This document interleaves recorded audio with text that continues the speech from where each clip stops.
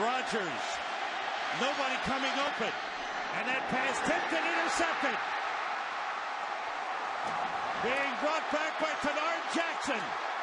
Heading for the end zone. Touchdown!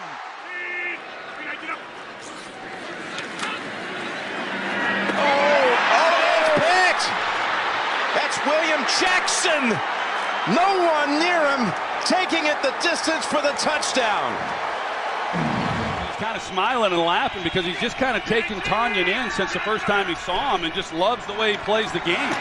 Pass is picked. Intercepted back the other way. Touchdown, Tampa Bay.